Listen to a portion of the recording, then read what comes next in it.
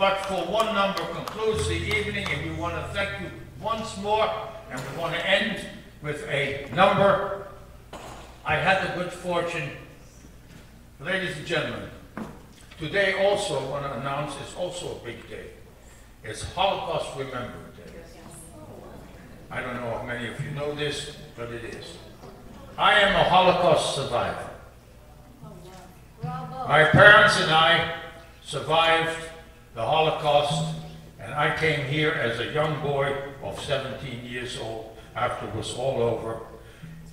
And I sailed into New York Harbor past the Statue of Liberty with a couple of thousand people on the ship, on the on board ship standing out there looking at the Statue of Liberty. There wasn't a dry eye on the on the ship.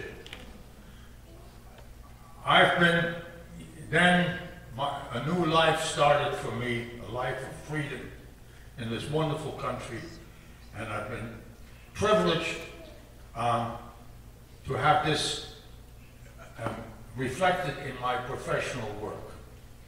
I was selected, I had the honor to be selected by the city of Miami, city of Miami Beach, in 1776, 1976. You know, that, it's a funny thing. That, that reminds me of a show. There was, there was an old fellow. He went, he was going to be an American citizen. He went in front of the judge. he was very nervous. And the judge asked him, when did you come over? and he said, he got so nervous. He said, well, he wanted to say 1940. He said 1490. so the judge said, you should have waited two years. You could have come with Columbus.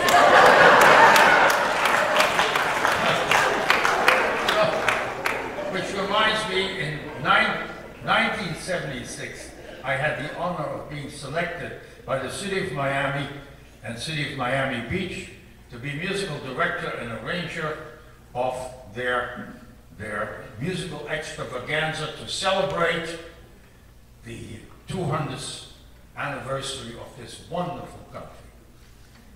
And uh, it was a show, most probably the biggest show that was ever held in, in Miami. It had a cast of 600 people in it. It was performed at the convention center, and the name of the show was Ray USA. And it traced the history of, of this country through its music and, and through its songs. I had to write a little bit of music because the Indians didn't have any music, published music at least. So I had to write some Indian music and something for the conquistadors and so on and so. In any case, it was a very big success. It started on July the 4th, 1976, and it ended on uh, um, the 31st of the month, and there, there was not a seat available to be had at the convention center. And you know that's a big place. The show was performed on a stage as big as a, a football field almost. Well, from that, uh, from that experience, I put together a little condensation. Um, I called it my patriotic medley. We'd like to close with it. We'd like to, um, um, you know, We'd like you to remember that as difficult as things are at the moment, you live in the best country in the world. And we should be all very proud. So if you want to sing along every once in a while, please, but uh, don't interfere with the dialogue. Okay? Now it's my pleasure to bring out our wonderful singers. Again, let me tell you, where are they? Here they are. Bill and Alicia, Marcel, and Marcela. And here is our patriotic medley.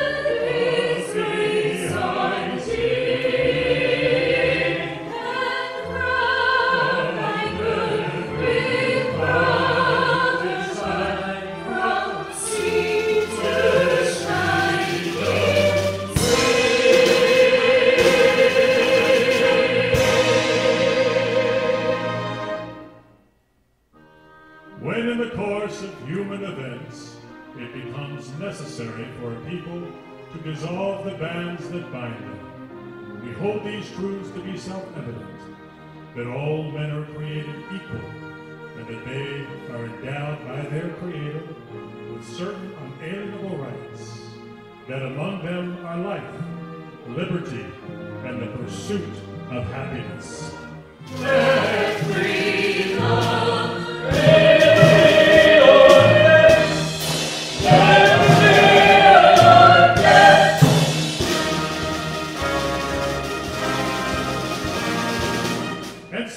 fleeing from their homes and their farms with muskets, pitchforks, and sticks, fighting for their freedom.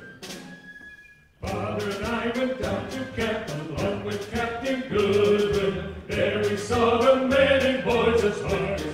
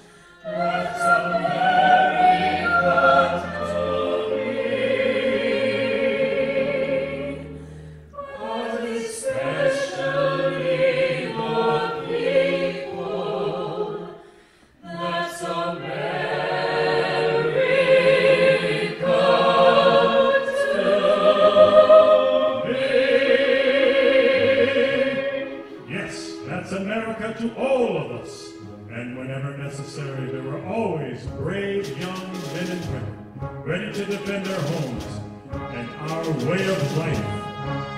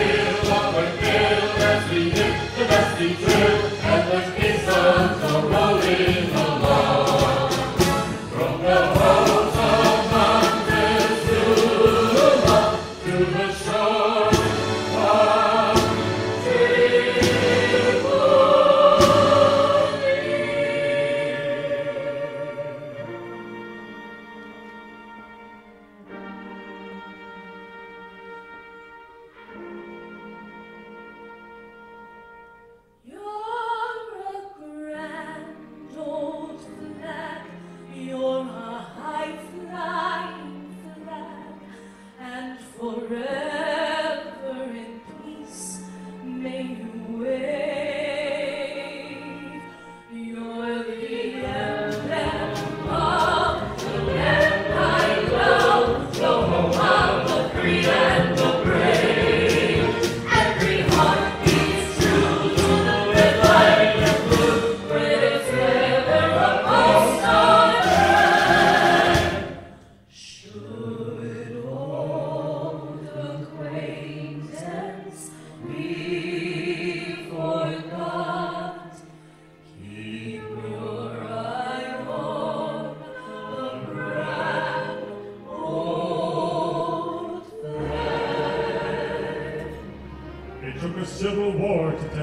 Commitment to the principles this flag represents, and it took a great president to lead us.